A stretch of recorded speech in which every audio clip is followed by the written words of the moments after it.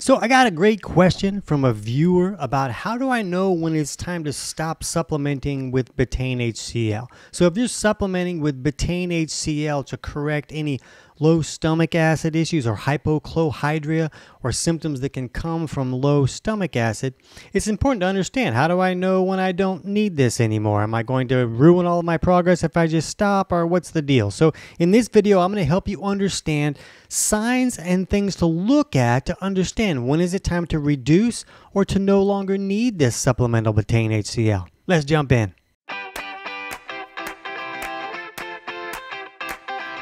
TC Hale is not a doctor and does not claim to be a doctor or licensed in any type of medical field. Don't be an idiot and use anything heard on the show as medical advice. This information should be used for educational purposes only, and you should contact your doctor for any medical advice. Now get off me.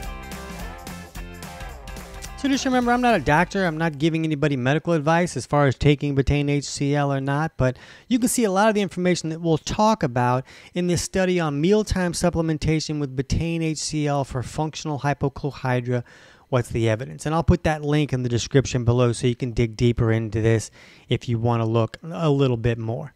But this study talks about a lot of the basic information that you hear from the thousands of practitioners out there who use betaine HCl with their clients. And this study even mentioned look, there's not a lot of studies out there and scientific evidence for using betaine HCl to correct digestive symptoms, but from the thousands of practitioners out there, there's enough anecdotal evidence to show that look, you can really acidify a stomach that's not acidifying correctly by using this betaine HCl.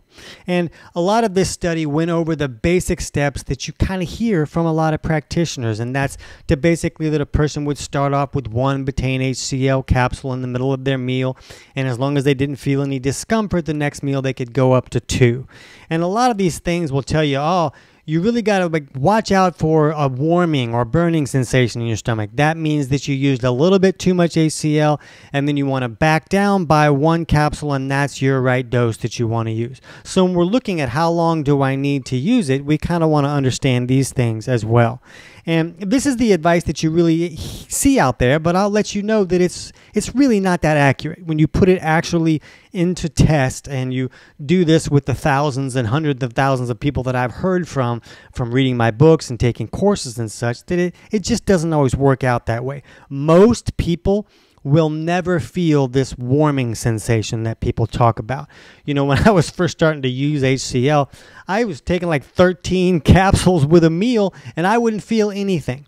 And the reason that I was doing that is because I had a significant bacterial overgrowth in the stomach and the waste from that bacteria is often very alkaline and so that alkaline waste is neutralizing the whatever stomach acid is in the stomach whether the person's making it or whether they're supplementing with it but a lot of these studies will say, yeah, just increase the dose until you feel this warming sensation. I do not tell people to do that. I do not think that that's even a good idea.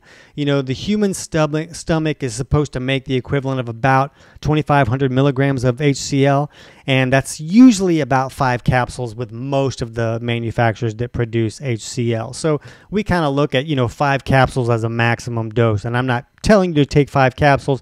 I'm just saying what we hear from a lot of people.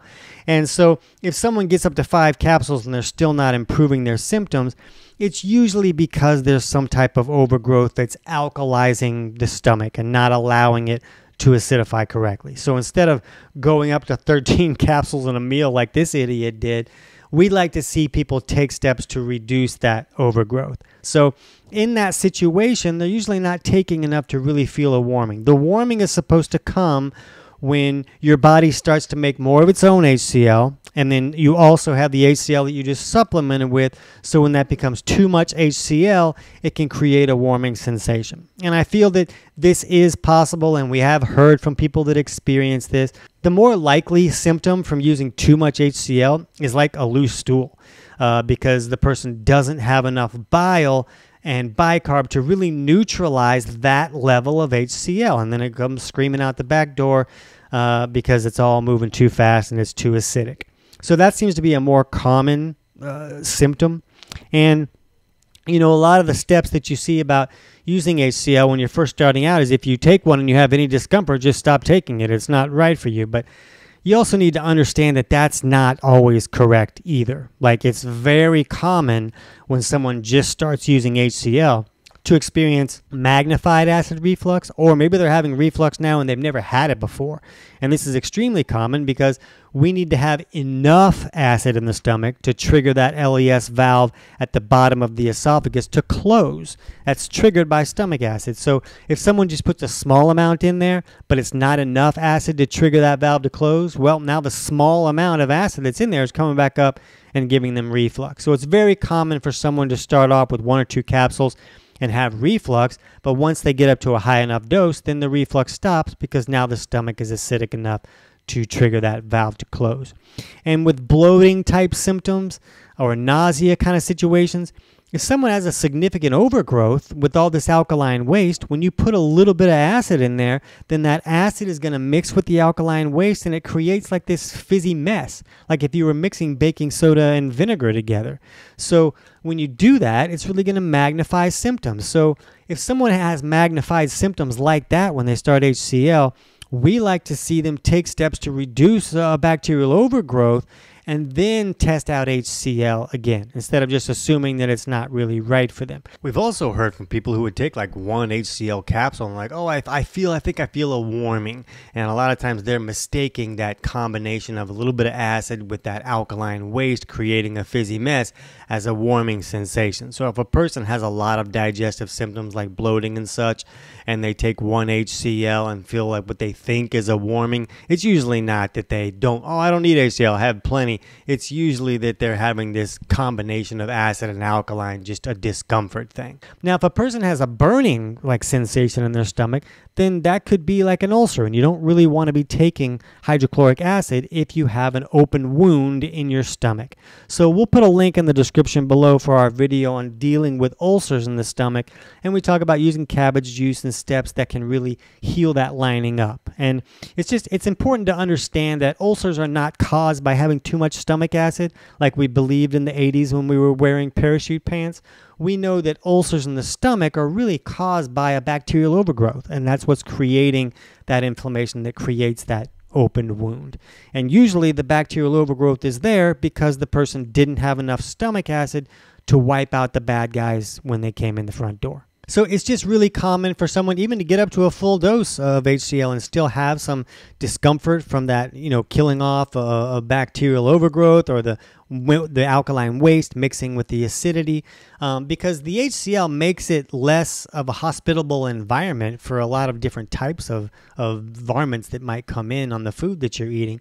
But that doesn't mean it's going to kill them all. It's there to kind of wipe them out as they come in. But if there's already an overgrowth, you need a significant amount of acid to really take care of that. And it's usually not going to be enough to really kill them all off. They all hide down in this mucus lining, you know, and all this kind of stuff.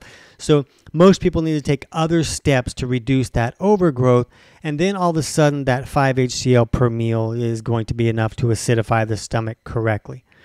And a lot of people will ask, you know, well, should I use pepsin or not? And pepsin is something else that helps us break down proteins, and that's what the, something that the body makes. And a lot of HCl capsules will include pepsin, and there's nothing wrong with pepsin. It actually can aid the digestion. But in my books and such, we always talk about using some type of HCl that does not include pepsin. Because if somebody works up to like five per meal, that's a lot of pepsin, and that much pepsin can create discomfort for a lot of people. So we just have people use it without it in case they need to do that, and then that doesn't create as much discomfort for them. And some people will even say don't use HCl if you have SIBO or something like that because the hydrogen feeds, you know, bacteria and makes them thrive more. And we just don't hold that viewpoint. It's not the same thing. You know, people make stomach acid. That's what every human does. And there are aspects, that hydrogen aspect in that hydrochloric acid that a lot of bacteria can eat. But when it comes in in an HCl format, we just don't view it the same way. And we like to see people taking steps to reduce that overgrowth. If you were just going to use HCl, then maybe it would create some trouble. But we like to see people take steps to reduce that overgrowth. And we'll put a link in the description below on our video on steps to reduce bacteria in the stomach so you can check that out.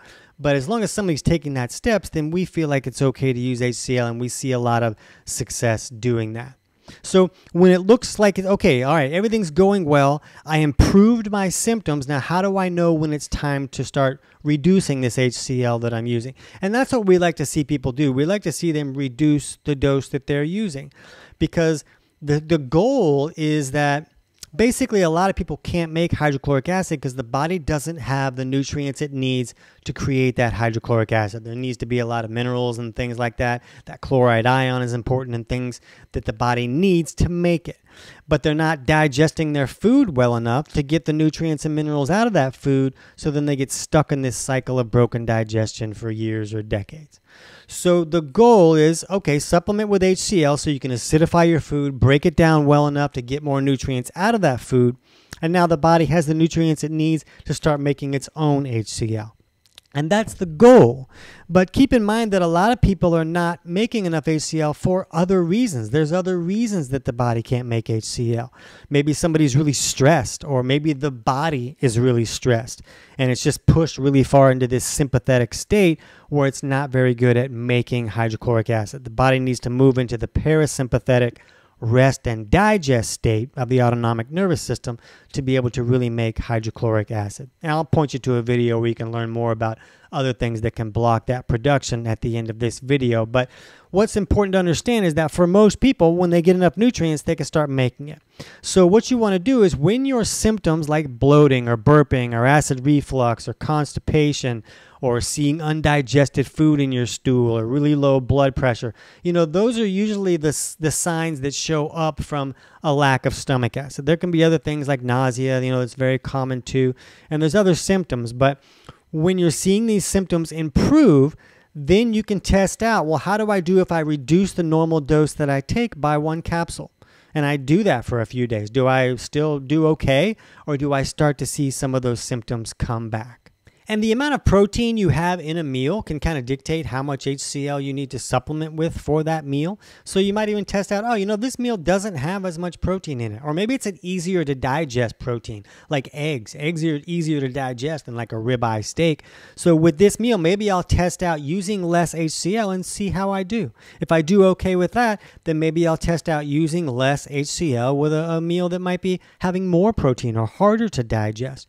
So just test out how you do when you reduce by a capsule. If you do okay for a few days, then test out removing another capsule and, and see how you do from there. And just keep in mind that your ability to reduce capsules uh, may initially have to do with the fact that you've reduced an overgrowth. So maybe there's not as much alkaline waste in the stomach coming from a bacterial overgrowth. So now it's easier to acidify that stomach. Maybe you don't need as many capsules to acidify that, even if your stomach is not making a whole lot more HCl. So that can be one factor that can allow a person to reduce the amount of HCl that they're using.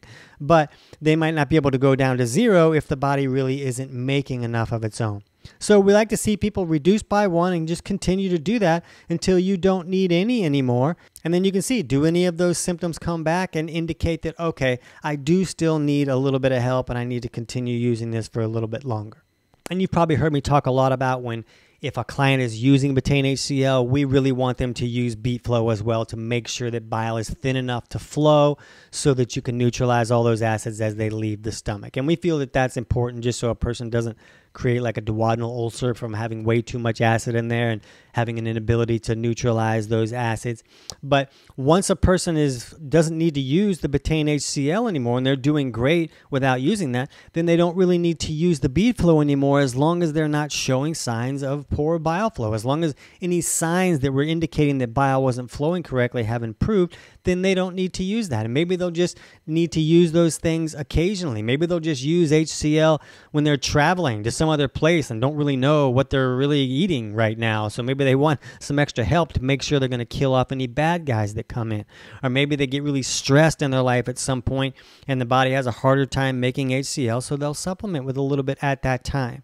But once the issue is corrected, the goal should be that you really don't need that anymore. These are not made to use indefinitely. When you correct the issues, you should be able to move away from them and just use them from time to time if you need a little bit of help. And if you remove them and the symptoms come back, that's just an indication that you still need some help, and that's okay. It's okay to need some help. That's better than the alternative of dealing with the horrible symptoms for years or decades, like so many of us have done. So don't feel like you're broken. There's a lot of things that can go wrong in the body, and some of them we have no clue about yet. We really don't understand how this whole mechanisms work. We just do the best we can with the information that we have. So you can work through it and keep trying to learn things, but if you just need a little bit of help, that's okay. So I hope that helps you figure out how to reduce and come off of the supplements when it's time to do so. Right now, if you want to learn more about other things that can restrict the body's ability to make its own hydrochloric acid, you can jump over and check out our video on why can't my stomach make hydrochloric acid. I can't wait to hear about your results.